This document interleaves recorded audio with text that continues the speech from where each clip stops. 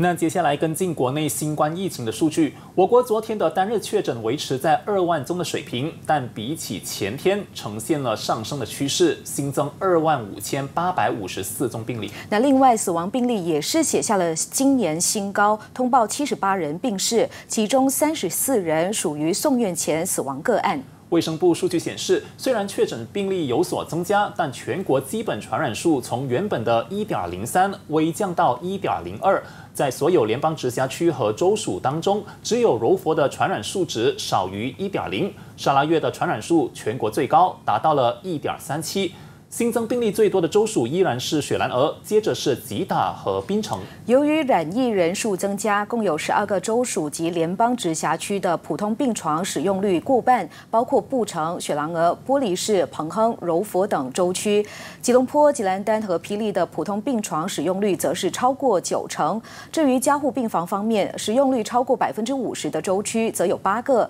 分别是布城、吉隆坡、柔佛、马六甲、吉兰丹、玻璃市、雪兰莪以。以及沙巴。